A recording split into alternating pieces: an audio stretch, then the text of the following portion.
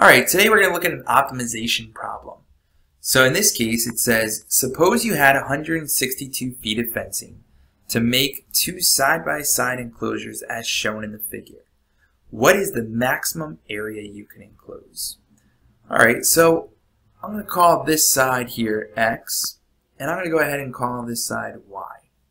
So the perimeter would be all the sides added together. So if this bottom here is x, then this top here is x.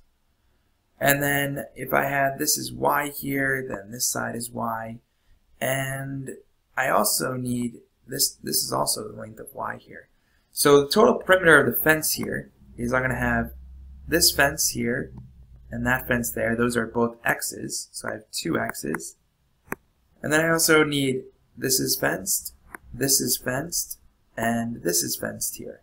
So I also have three Ys worth of fences.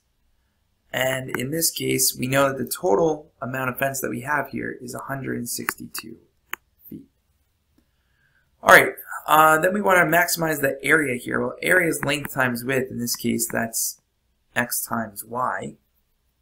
So now we need to bring this down to a single variable. So let's go ahead and solve for one of them here. So I'll go ahead and um, solve for x in this case. So why don't we minus off 3y minus off 3y. So we have 2x equals 162 minus 3y. And lastly, divide everything by 2. So I'll end up with x equals 81 minus 3 halves y. I'm going to go ahead and take that and substitute into my equation for x over here. So we'll get that the area is 81 minus 3 halves y times y. Distribute that y through in this case, and we'll get that the area equals 81y minus 3 halves y squared. Alright, let's go ahead and then take the derivative of this, because we're trying to maximize this here.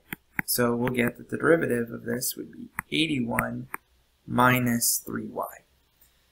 And to maximize this, again, we want to set our derivative equal to 0. So we get 0 equals 81 minus 3y. Go ahead and add 3y to both sides. So we'll get 3y equals 81, and then simply divide by 3. And we'll get that y is 27 in this case. So now that we have that y is 27, we can go back up to our perimeter equation, which we said up here was that 2x plus 3y equals 162.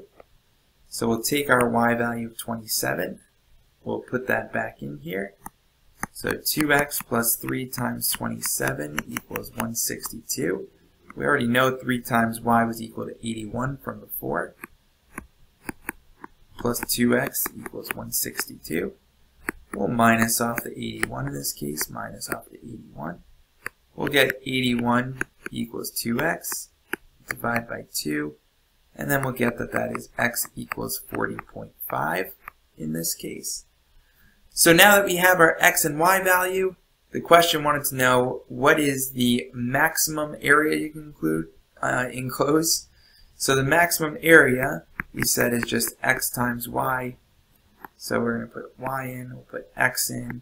So that area is 40.5 times 27. And if we do that in our calculator, 40.5 times 27, that will simply give us 1093 and 0.5. 1093.5, and in this case we are talking about feet, so it would be square all right. If you have any questions, feel free to leave them in the comments below.